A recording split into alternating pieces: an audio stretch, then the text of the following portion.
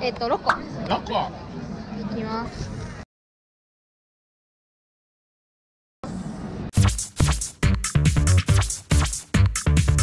下川チャンネル皆さんこんにちは。下川チャンネルの下と申します。さあ、ということで、ゴールデンウィークも終わり、皆さん、5月病なってないですか？まあ、我々下川はね、東京の方にゴールデンウィークは行っておりまして、ゴールデンウィークってことで、人々の財布も緩む、カードショップも、ゴールデンウィーク、そして、新元号にちなんだオリパ、まあ、飽きるほど出してましてね。それに倣って、財布の紐が緩くなった私も買ってまいりました。こちら、ホビーステーション秋葉原本店さんにて買ってきました。新時代、ゴールデンウィーク恒例デュエマオリパ500円。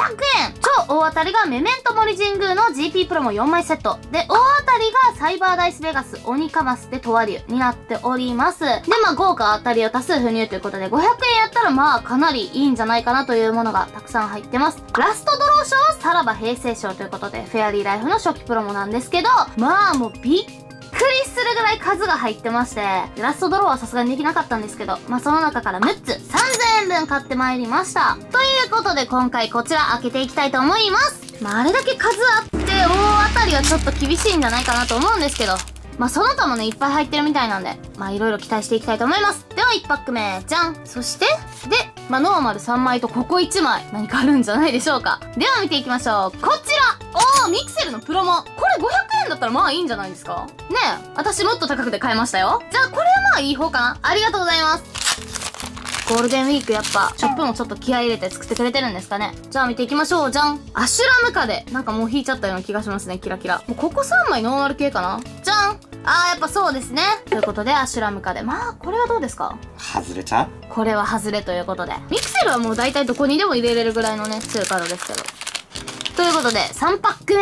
デュエマ担当ではない私が本日、自腹で買ってまいりましたんで、当てていきたいと思います。うわ、なんか光ってる、なんか光ってる。これはダメな光り方じゃない大丈夫かな？じゃんオラマハザジョに。そしてこっちは、はい。ちょっと500円だったら、微妙ですよね。私でもわかります。さあ、折り返し4パック目いや、そろそろ当てていきたい。いや、ドーピードープの宿とかも書いてあったのでね、その辺とかも当てていけたらいいな。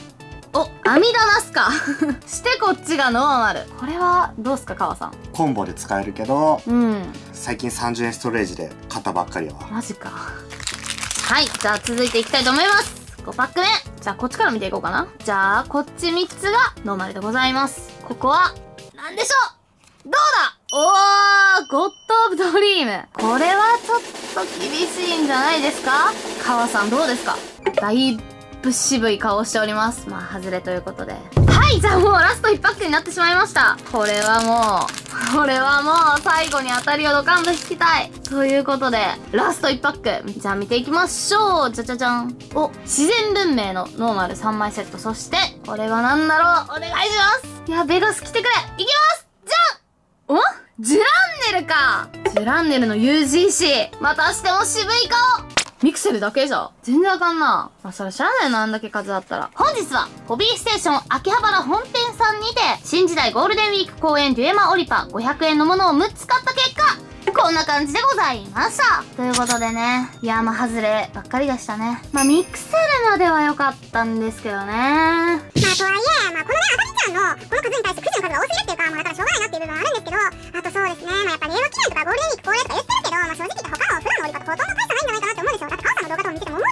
まあ、私たちが弾けないだけなんですけどね。ということで、またこれからは、ディアマ担当の川さんが、引き強でやってくれると思うので、そちらに期待しておいてください。ということで、本日もご視聴本当にありがとうございました。よろしければ、チャンネル登録、そして高評価の方、ぜひ、よろしくお願いいたします。以上、本日の下川チャンネルでした。